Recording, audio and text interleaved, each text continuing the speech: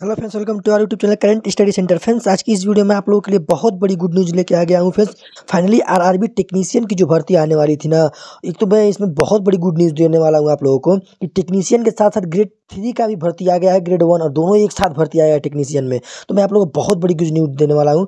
Friends finally technician की भर्ती का नोटिफिकेशन जारी कर दिया गया है, और इस वीडियो में आप लोगों को मैं कंप्लीट डिटेल्स बताऊँगा कि ज्वाइनिंग डेट आप लोगों का, कि इसमें का रजिस्ट्रेशन कब से होगा फॉर्म ऑनलाइन कब से होगा, कब तक इसका लास्ट डेट है, क्या इसकी फ़ीस रखी गई है?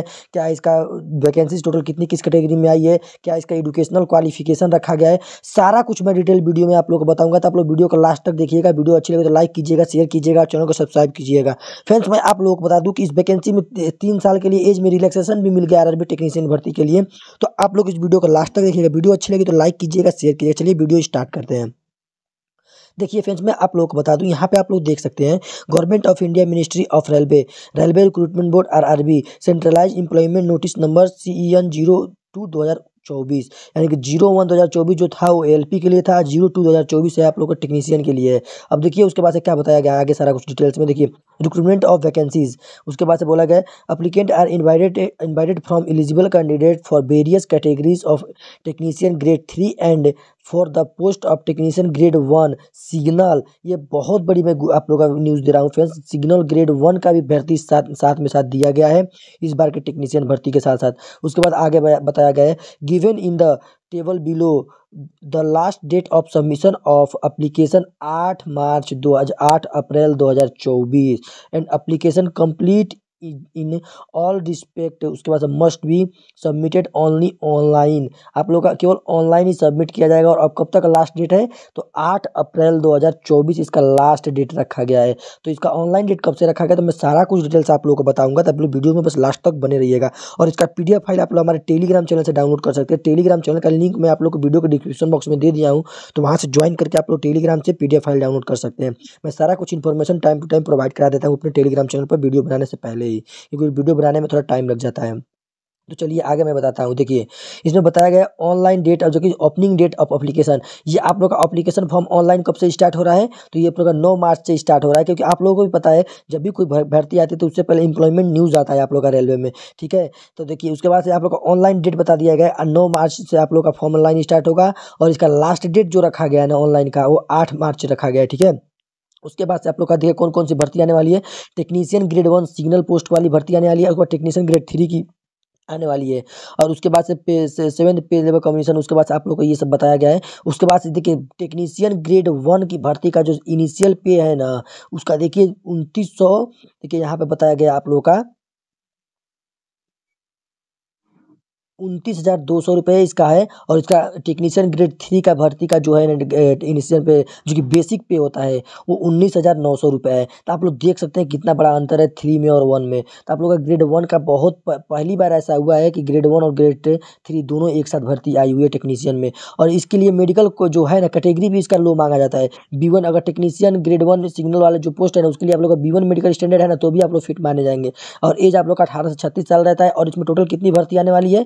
तो ग्यारह सौ भर्ती इसमें आप लोग का आएगी। आप लोगों में बहुत बड़ी गुड न्यूज़ दे रहा हूँ फ्रेंड्स और उसके बाद से बताया गया है टेक्नीशियन ग्रेड थ्री का। टेक्नीशियन ग्रेड थ्री का उन्नीस हज़ार नौ सौ बेसिक पे होता है और उसके बाद से इसमें तो सारा कुछ भी बताया गया कि जो भी टेबल आएगा उस स्टैंडर्ड में क्वालिफिकेशन वो सब बताया गया है। उसके बाद अठारह से तैंतीस साल इसके लिए एज रखा गया है और इसके लिए टोटल भर्ती आप लोग का आनी हुई है, जो सात हज़ार नौ सौ भर्ती आने वाली है और इस प्रकार से टोटल नौ हज़ार जो कि टेक्नीशियन ग्रेड में दोनों ग्रेड वन और ग्रेड थ्री मिला के पोस्ट आने वाली है टेक्नीशियन में।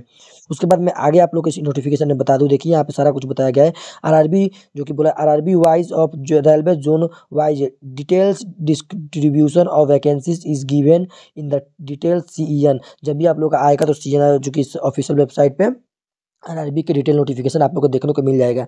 उसके बाद आप लोग को यहाँ पे देखिए, तीन साल का देखिए दिस इंक्लूडिंग इंक्लूडिंग रिलैक्सेशन जो कि आप लोग को दिया गया है और three year in age beyond in the pandemic जो कि prescribed age limit age on one time measure due to COVID nineteen pandemic आप लोग कोविड नाइन्टीन के कारण से आप लोग का तीन साल का एज में छूट भी दिया गया है तो इस बात को भी आप लोग ध्यान रखिएगा।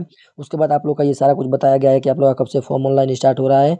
उसके बाद इसका सारा डिटेल्स नोटिफिकेशन आप लोग को ऑफिशियल वेबसाइट पर मिल जाएगा। उसके बाद एज में आप लोग का क्या रखा गया है, देखिए।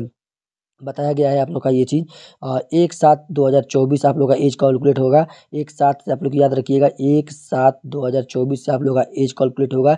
इस डेट तक आप लोगों का एज अठारह से तैंतीस या फिर अठारह से छत्तीस जो भी ऊपर मेरा एज रखा गया था लिमिट देखिए, अठारह से छत्तीस या फिर अठारह से तैंतीस आप लोग का एज होना चाहिए। इसके बीच में आप लोगों का इससे अगर अधिक हो रहा है तो फिर आप लोग फॉर्म नहीं अप्लाई कर पाएँगे और कैटेगरी वाइज कुछ रिलैक्सेशन भी दिया गया है और उसके बाद से तीन साल का एज सबको रिलैक्सेशन दिया गया है। उसके बाद एजुकेशनल क्वालिफिकेशन क्या रखा गया है ना?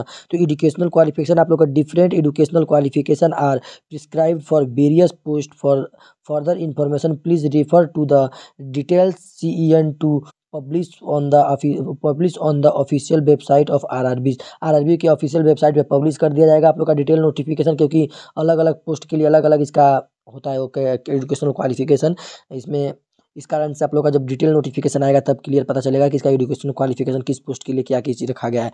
उसके बाद आगे बताया गया है कि candidate waiting for result for आपको सारा कुछ ही बताया educational qualification to not apply उसके बाद मेडिकल स्टैंडर्ड में बताया गया ये सारा कुछ इसके बारे में। आप लोग का। उसके बाद आप लोग का बताया गया है कि रिजर्वेशन सबमिटेड ये सब रिजर्वेशन वाले बेंच में disability P W B D वाले के लिए, उसके बाद एक सर्विसमैन वालों के लिए, उसके बाद कुछ reservation S T S C O B C U W S के लिए मिलाता है। आप लोग का यही सारा कुछ बताया गया है। और इसका एग्जामिनेशन का मोड क्या रहने वाला है? तो एग्जामिनेशन मोड ऑनलाइन रहने वाला है सी बी टी के माध्यम से होने वाला है। अब इसमें शायद हमको डाउट एक चीज़ आ रहा है कि क्योंकि इसमें सी लिखा है और नहीं लिखा है यहाँ पे तो हम शायद यहाँ पे हो सकता है कि केवल एन से इसमें सी बी एक ही एग्ज़ाम हो। क्योंकि जब उसमें सी बी टी आया था ना क्या वो सी बी टी तो वहाँ पे एस लिख दिया गया था लास्ट में तो इससे पता चलता था कि सी बी टी टू दो एग्ज़ाम होंगे। लेकिन यहाँ पे केवल देखिए आप लोग कंप्यूटर बेस्ड यानी कि सी बी टी लिखा है तो शायद इसमें एक एग्ज़ाम हो, लेकिन ऐसा नहीं लगता है हमें भी। तो ये चीज़ आप लोग डिटेल नोटिफिकेशन आएगा तभी क्लियर हो पाएगा। उसके बाद आगे बताया गया आप लोग का एग्जामिनेशन का फ़ीस क्या रहने वाली है? तो एग्जामिनेशन फ़ीस रहने वाली है आप लोग का पाँच सौ रुपया किस बच्चों के लिए? तो पाँच सौ रुपया बच्चों आप लोग को रहने वाली है जनरल बच्चों के लिए, ठीक है? उसके बाद से आप लोगों का रहने वाला है क्या चीज़? और ये रिफंडेबल फ़ीस है, ये आप लोग का फ़ीस वापस भी हो जाता है। उसके बाद से for candidate who belong S C S T ex serviceman P W D and me female इन सभी बच्चों के लिए अढ़ाई सौ रुपये फ़ीस रहने वाली है।